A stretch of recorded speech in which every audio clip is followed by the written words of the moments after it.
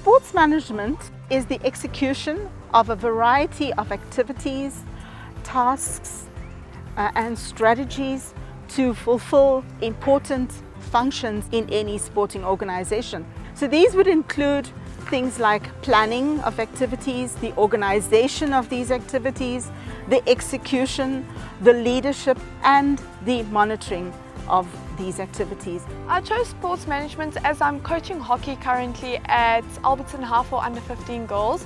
So I knew the course would help me and give me some intake on the girls and help me improve them not only physically but mentally as well. From the young age, I, I used to play soccer. So I thought since I'm passionate about sports, I could do something inside the sports world. So I decided to do sports management. To see the difference you can make when uh, a child develop progress in, in, in, what you've been putting in place, uh, it's just, to me, it, it is a rewarding, uh, and that's what still enjoys today.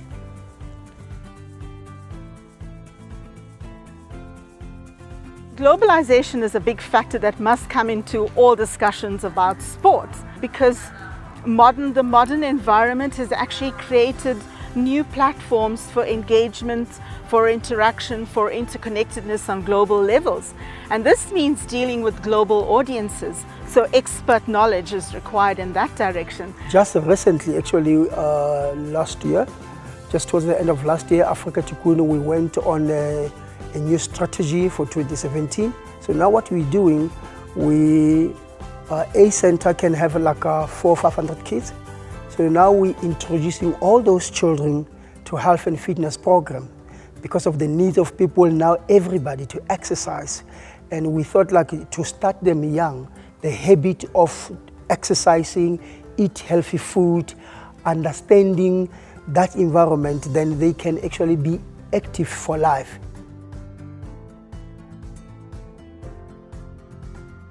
I had the opportunity uh, to go and study at Boston in Orange Grove uh, to study sports management.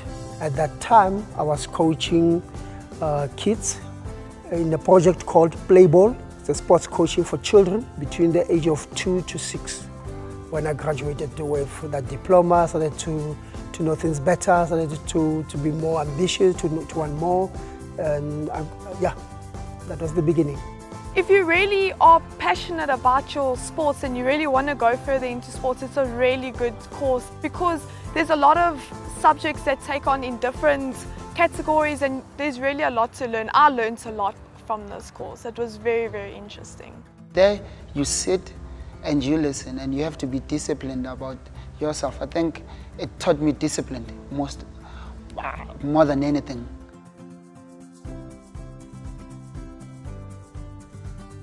Well, I guess they must have faith in their um, interest in sports and their belief in, and in what they can do and aspire to always give off their best. So aspire for excellence, that's my message. Sports people work Monday to Monday. You know, like you, you train people during the week.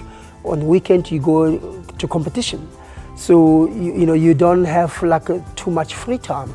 Uh, or you spend all that time within that environment. So if you're not passionate about it, you're really not going to stick it out. So passion for sports, uh, will bring that uh, energy uh, and that hard work behind, I believe. Uh, I went to get a job and they said you have to wake up around 3 o'clock. Will I wake up for sports? For sports? And, I, and in mind I said, yeah. So if you are passionate about something, go for it. It's the way to go.